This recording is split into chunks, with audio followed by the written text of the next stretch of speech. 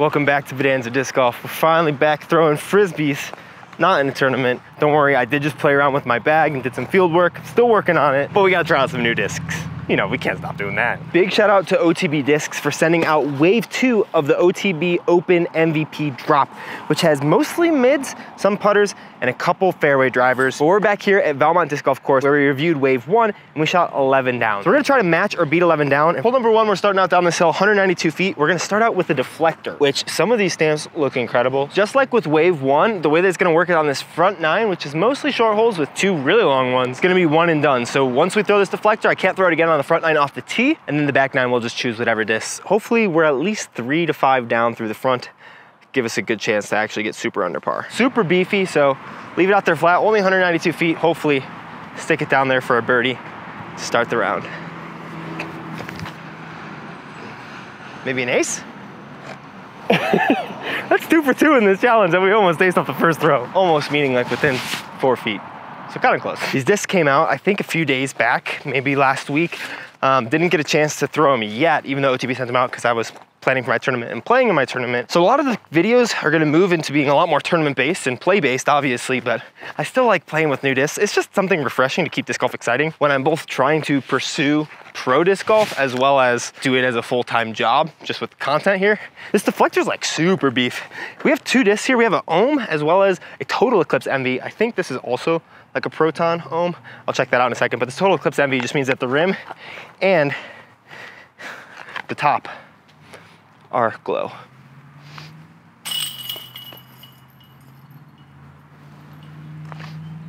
Little headwind, wow, come on. That's disappointing with the ohm. Little headwind, just push it straight out there. Little left side though, we can blame it on me. I was watching Iceberg TV's video on this, Dylan over there, when he was throwing these with Broderick, and they were saying that the ohm is like a max weight glitch. So maybe I should post Envy instead of the ohm, because it kind of just like got held up in those chains. And I really want to go in them very much, even though I think it's max weight. Proton soft ohm is that the ohm is 2501. Super interesting. I think for this shot, straight up the hill there. We're gonna go with the Echo. I got this one, it's got dolphins on it. It looks super cool. This is 5.5 negative 1.51. And I heard that this is like a really good disc. I think it was in like, MVP did like a challenge thing last year and this was one of the discs that was in it. Oh, it's not as flippy as it says.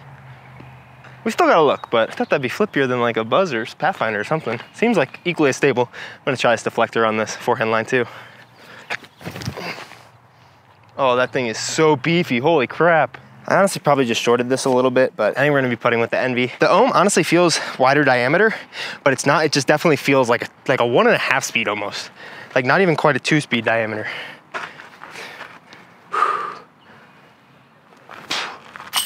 Hole three, 162, super shorty, but we have some real shorties coming up soon. So we're gonna actually throw, I think, matrix on this one. It's like a neutron swirly kind of matrix. Looks super cool, unicorn stamp. I took this one out because we're gonna throw it on forehand. I've heard it's like a, kind of like a reactor. Not a lot of glide, so it should handle some forehand. This is the disc that Simon first aced with from MVP.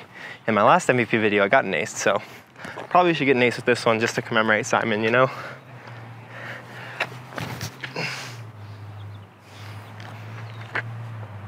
Oh, a little short, dang. Two down. All right, this is the ace hole, but we do have a double mando on this one, so we're definitely throwing the ohm. Man, these discs are so fun. I love playing with new plastic. All right, straight up there, 156. This is one of the holes I've been saving the putters for. Could throw the uplink as well, because there's an uplink in here, which I haven't thrown before. You guys have said is really good, but this definitely feels pretty soft, this ohm. Proton soft deflector, proton soft echo, proton soft ohm. They're loving that proton soft right now. And hopefully we just get it through this double mando. I'm guessing it's gonna be dead straight, so just throw it right at it and super glidey, 2501, tailwind coming up this hill. Go in. No! That's so good. Three down. This is basically a jump hole. It's 144 down there. I'm trying to think if I should keep any of these for any shots. This is the shortest one left, so we'll throw the Eclipse, oh, total Eclipse Envy, excuse me. I really like this stamp. These have been some really sweet discs. I also didn't show you the ohm yet. Man, I'm just loving these artworks. That's one of the reasons why I like running custom stamp stuff because you just get to do some fun artwork on it. I'm excited to do some more in the future, but Envy straight at it. Would love to ace it, but I want to keep my score pretty good, so we'll give it a little soft bid. Oh, and by soft bid, I mean throw it way left. Oh, it's so bad. Don't you just love it whenever you say you're gonna give something a soft bid and you end up just like throwing the softest shot that's ever been seen on a disc golf course? Stay up. Par town, dang it, three down. Seems like there's a lot more MVP this time than Axiom stuff. Seems like there's a lot of Axiom last time and there's a lot of MVP this time. All right, basket straight through there. We're gonna go with this interesting framing just so we can see the basket so that I ace it. Oh, they don't even show this one. It just looks like an Eclipse uplink. Let it turn, glide under the basket. Oh, so straight, so nose up. Why did I do that? There we go. Who needs a good drive when you can putt decent? Every, everybody still does.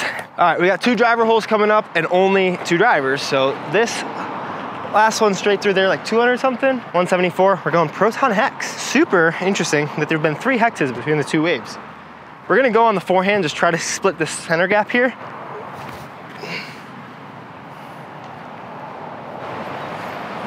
That wasn't the center gap. All right, looks like it's a circle two kind of day when you can't hit your line.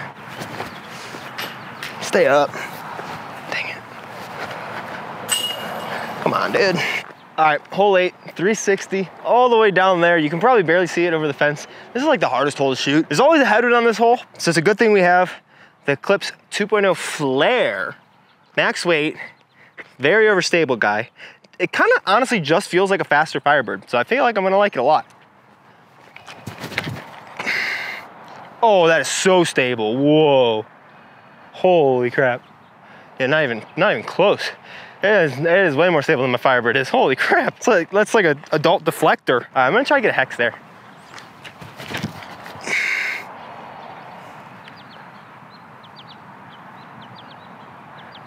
Oh yeah, that hex bombs. Maybe the Matrix? Nah, Matrix is too too slow. Or too not glidey. This Echo might have to put a little more hyzer on it. Yes. Oh, it's freaking almost parked. I think both the Hex and the Echo are inside the circle. Ooh, forgot I can try out this uplink into a headwind. More hyzer than the world has ever seen.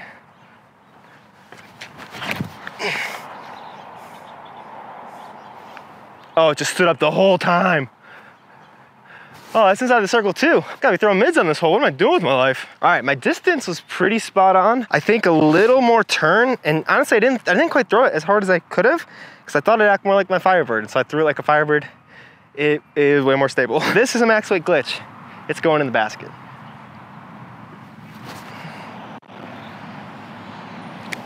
Oh, that's not bad. Uh, this really isn't bad. This is the uplink. Matrix definitely has a higher wing and it's definitely slightly more stable, but mostly less glidey. Oh, thank you for staying in, buddy. Whew. Making good putts on this basket today, I guess. And for the last shot, we have a Cosmic Neutron Tesla, which honestly, for Teslas, feels relatively stable, but they're pretty fast nine speed, so I think we might be able to get there We'll definitely be able to give ourselves a circle two look as long as I hit the line clean, but we should be able to get all the way down there. Throw your hand down, in the air, throw your hand down.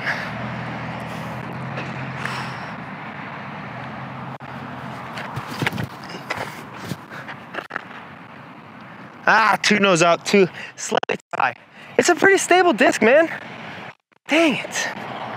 Dang, that's wild thing is pretty stabs. Getting that high rate with that Tesla had to be pretty perfect to get it there. Just threw it a little too high, which means that once it gets hit with that wind on that side, it's just gonna stall instead of keeping pushing forward, unfortunately. But we should have like a circle two edge, maybe, look. Maybe circle three, but hopefully circle two-ish. Dang, these winds definitely got a little swirly, because up here it's definitely a headwind, and back there it felt like it was a tailwind. So, doesn't quite make a ton of sense, but maybe like swirls in this way from both sides. I think too, the, the blade of this guy is so high, or the, the wing it's pretty high for like a 9.5 negative 1.2 disc, that once it like gets a little nose up, it just really stalls. Nah, too low. Trash.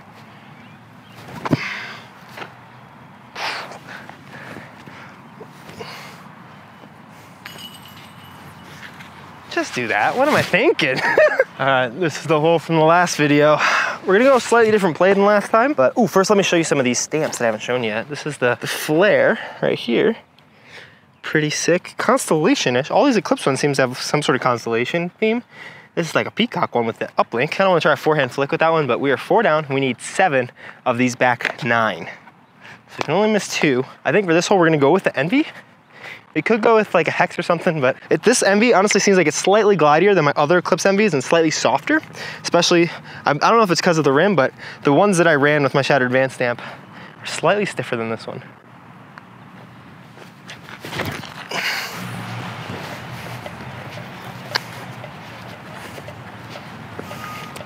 That'll play. Perfect little park job. Well, 11, par three, 300 feet straight ahead of us. I think it could just be an ohm straight at it, but the wind always gets squirrely on this hole and I always like mess it up for some reason. It's pretty easy hole. Kind of want to throw the uplink at it as well, just because if I miss it a little bit, it'll be a little more forgiving. So I think we'll go uplink.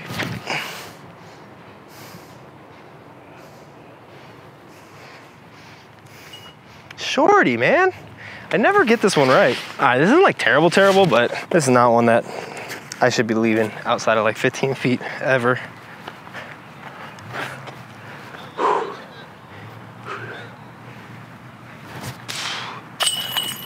Good putt. That was a bit of a scary putt to need to make in order to stay on track. All right, I think we're gonna go ohm for this one. Straight ahead of us, 195. Slight Annie at the basket and let it like settle right underneath it because there is a drop off behind. So I'd rather stay in front of this one.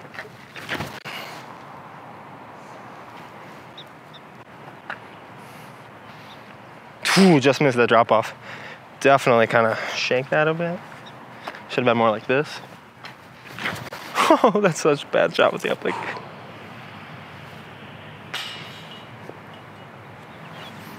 Pull that guy. Aim towards the basket, you goober. Straight ahead of us there. 210. We're gonna go a little crazy since we got a unicorn on it and throw the matrix. Just on a hyzer.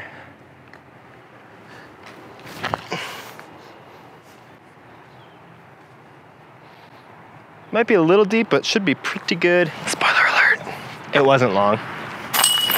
All right, seven down, hole 14, 160 feet straight ahead of us. You'd think, oh, obviously the Ohm or the Envy. Silly goose, this is a Tesla shot.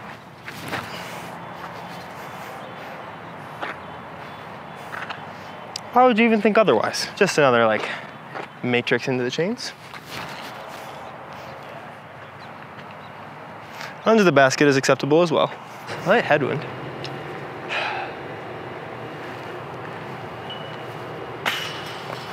It's not a Tesla. Oh, now I have to birdie everything. This is just a couple lazy putts. That's all that is right there. Thought this was fun and games time. It's not. This is serious time. Hole 15. I need to get all four of these birdie out. We're gonna go ohm.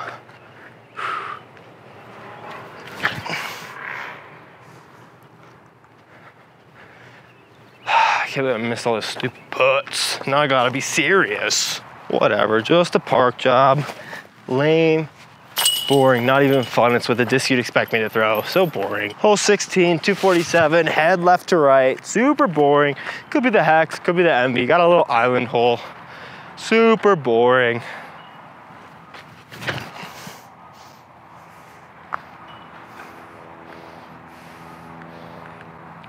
Did that skip off the island? Well, that is super rude. Can't even argue anything, it just popped right over the edge. Looks like we're having fun again. First shot here, I think we're going envy straight at it. Gotta ace it, gotta believe the putter's on, contrary to all. Do you mind, Mr. Glider? Oh God, thank you. Oh gosh, circle two putt to make, baby. Move this out the way. Thank you. You are the one, aren't you? All right, we're gonna unload the clip on this one, but the one that counts is gonna be the ohm. Gotta go for it. Stay right, stay right. Oh, better than I expected, but that's gonna be a punt. Turn, ah. Too short. What do I have left? Deflector, flare, Tesla. Deflector, skip base. Oh, it's so short. Oh my gosh. Dude. Weak sauce. I'm gonna rank these after I make this last putt. No, it does matter. I short it like a ding dong. Oh, I was outside the circle too, dang it. I've been just not stepping those like 38 footers and I've been making a decent bit of them, but not that one. Nine diskies right here. Let's go from the least favorite to favorite. And these, this, just to let you guys know, is a guaranteed ace list. So the ones that are at the bottom of the list, guaranteed to get less aces than the ones at the top of the list. I'd say my least favorite disc out of these, I think it's probably gonna be the flare, unfortunately. I think the drivers, except for the, I think the trance was okay. The panic was sick last time, but this flare is all right. You guys can throw down. I think they're just watching me. You guys are good to throw. It's in my bench by the last hole. Yeah, Flare and Tesla, neither of these wasn't the biggest fan. I think the test Tesla's always a little more stable than the numbers suggest, which a lot of people like. I think especially Cosmic Neutron, I think is pretty stable. So this one is kind of a beefy Tesla, beefy little nine speed. Great shot, park job. Maybe I should have done that. I like the stamps on these guys, but they're kind of lackluster compared to some other stuff that we got going on. Not bad, but not my favorite. I think next on the list is gonna have to be probably the Hex. I think I really like the stamp. I really, I mean, all these are sick, so it's kind of hard to say, and this is very subjective, but I think the hex is the next one for me. It's cool, but I don't know why we needed three hexes and two drops, honestly, especially when there's so many awesome fission hexes with the Shattered Van stamp. Like, why do we need another hex? This is this is probably actually at the bottom, if we're being real about it, because there's just so many cool fission hexes at bodanzadiscgolf.com. Shameless, kind of shameful plug. Uh, I think next is gonna be the uplink I think it's just fun. It's kind of just like a slightly flippier origin to me. I really like this disc, um, but it seems a little touchy for kind of a flippy disc, especially like once the nose is slightly, slightly up, it does not want to turn and ride like a lot of other flippy discs will. Even my origin, I think a nose up origin works better than a nose up uplink, even though the uplink is flippier when you throw it nose down. So that makes it a little bit more finicky, I'd say personally. Probably just threw it bad though. Next, I think I'm gonna have to go, man, this is tough. I think Echo. I wanted to put this higher. The stamp is cool. I honestly kind of like it a little more than the Hexes, especially up here at elevation. It seems to get just a little more flip up and play and a little bit more glide. And this is such a gummy plastic. I really like how that feels. Followed up, I think, by the Ohm. Also very sick disc. I really like this colorway and it flies really nice. I just got a little bit inconsistent releases because of how thin it is as like what I would say is like a one and a half speed. So it is definitely like a slightly bigger glitch. A slight, it feels a little shallower even than the glitch and a slightly wider diameter. Number three, I think we're gonna have to go, I don't know why I'm keeping the deflector so high, but I think it's gonna be Matrix. I like this disc a lot, mostly because of the stamp. Not necessarily how it flies, I just really like the stamp. Similar to the deflector, I also like just how crazy stupid beefy it is.